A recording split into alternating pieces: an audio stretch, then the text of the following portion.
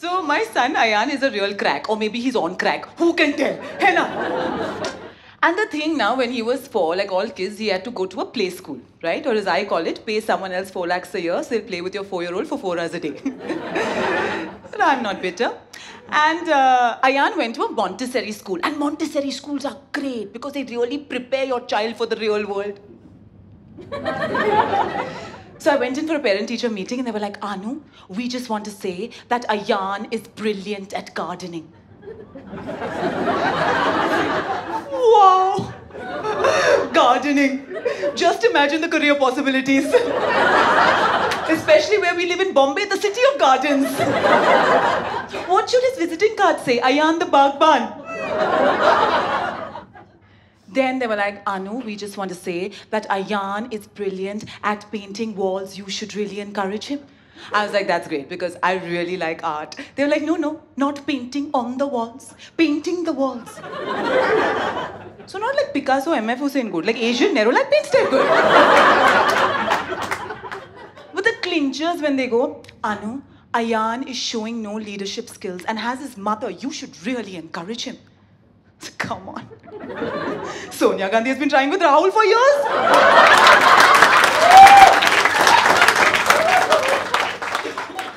but the thing I realized when you have kids now is that everyone around you feels this need to praise them, bevaja.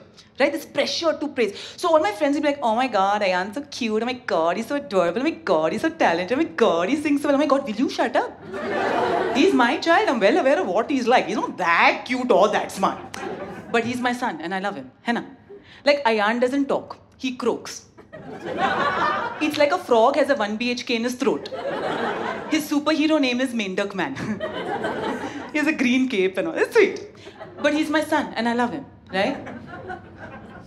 Also, he can't pronounce the, uh, the alphabet R, right? So he thinks that a lion lols. He loves eating at restaurants. He loves Chinese fried rice. And he behaves like a plick a lot of the time. But he's my son and I love him. Henna? Like yesterday, he said, Mama, I just want my pee to become bigger and bigger. It's not going to happen looking at me, kid.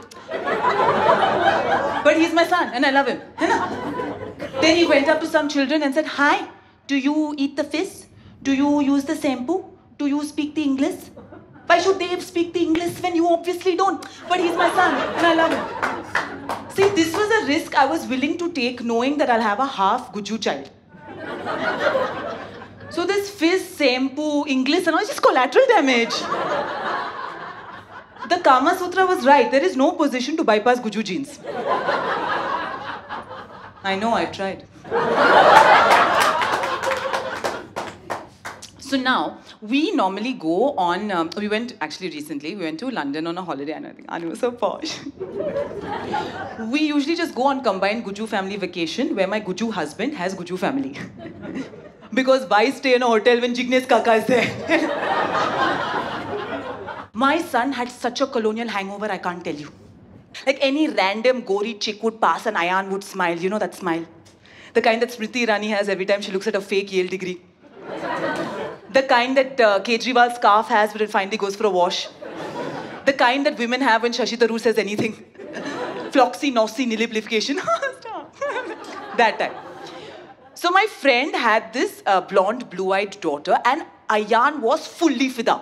Like full slave behavior. Kept following around everywhere like Mimi, breadstick, Mimi, gajar, Mimi, koinur, Mimi, chocolate, Mimi, cheese, Mimi, azadi. You know, I was like, stop it, Ayan, stop it. Like, I was so embarrassed. So, kuch to sharam kiya karo, Ayan.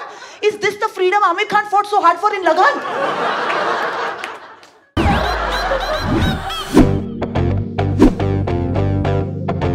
इतने में इतना etch मिलेगा